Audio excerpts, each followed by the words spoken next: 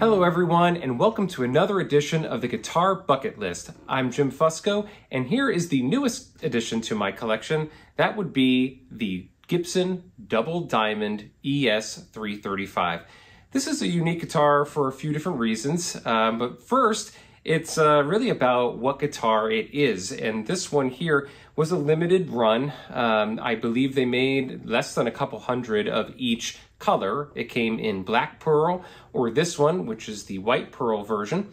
And, um, you know, the color is really nice in person. It does have a little bit of that pearl essence to it. Um, and this guitar is from 2006, so it has yellowed. The lacquer has yellowed over time, but it's yellowed very evenly. Uh, there's no stand rash, there's no marks or anything on it. It really is in fantastic condition, especially after I cleaned up uh, some of the uh, the kind of like buckle scratches and scuffs that were on the back that really just buffed right out. Um, interestingly enough, it the inside of these diamond holes here does not have the lacquer on it, um, so you can see the original white color, so that's not you know yellowed by uh, the clear coat over the top. So you can see what the original color was um, that's compared to the yellowed over clear coat on the top. Um, this one's a unique model because it kind of looks like a Trini Lopez, uh, but it has the regular Gibson uh, open book headstock.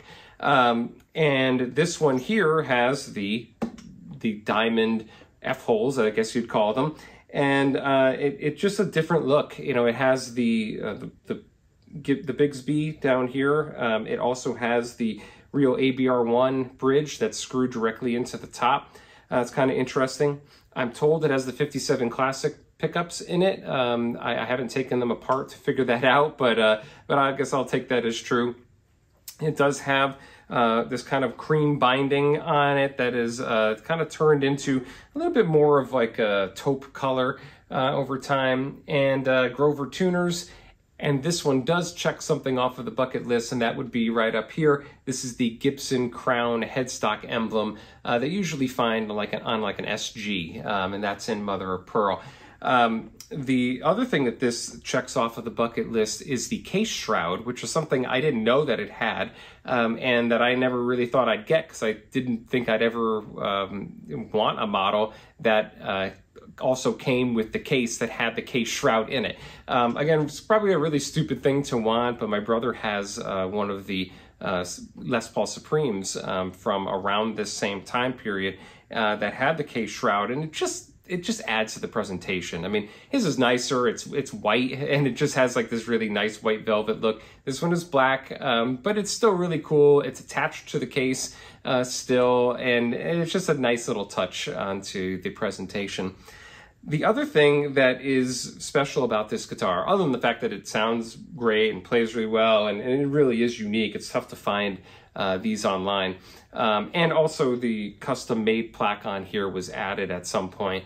Um, this guitar I actually purchased uh, on the Heritage auction uh, from a couple weeks ago, and this one was owned by Jeffrey Foskett of the Beach Boys. Um, you know, he wasn't necessarily an official member of the Beach Boys, but I'm a huge Beach Boys fan, um, and and it, for all intents and purposes, he really was a member of the band. He was with them for almost 40 years, and he was the person who sang all the high parts um, after the guys got a little too old to sing those parts, and he's been with them since the Kokomo days, uh, and ever since.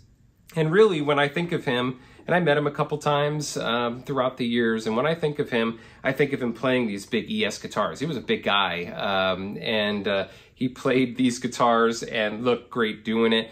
There's a few pictures of him uh, that you can see here that just show him playing the guitar on stage with the band, and just how cool is that to own a piece of history that clearly he liked because this this was used and you could tell that um, it's one that he liked being seen on stage with. It's got that flashy stage presence too. Um, and now that I have it, I really do feel privileged to have it. And it's something that I think because of how unique it is and because I've kind of fallen in love with it since I've gotten it, uh, I've basically been playing it every day. And I just, I think it's one of those ones that I can kind of, you know, turn into my own guitar. One of those ones that um, is a me guitar, uh, as opposed to one you could just find off the shelf somewhere that you know a lot of people have played um, or that do play. You know, we've talked about that in the past on this channel. So, um, so yeah, so this is a special guitar for a couple different reasons. Very happy to own it. Again, they call it the Double Diamond ES 335 uh, from 2006. Let's give it a listen.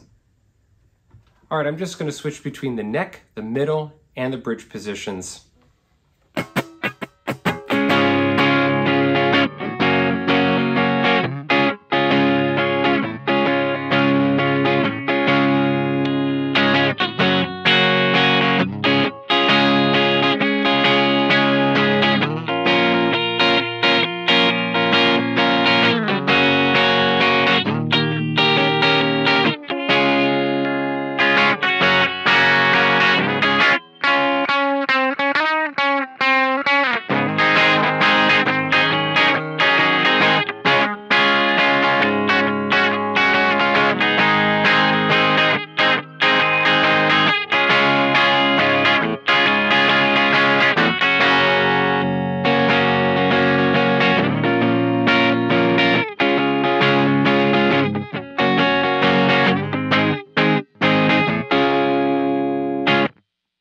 The Gibson ES335 Double Diamond checked off the Gibson crown inlay and the case shroud, bringing our total to 36 out of 63 items. Make sure to check out guitarbucketlist.com for all the latest updates.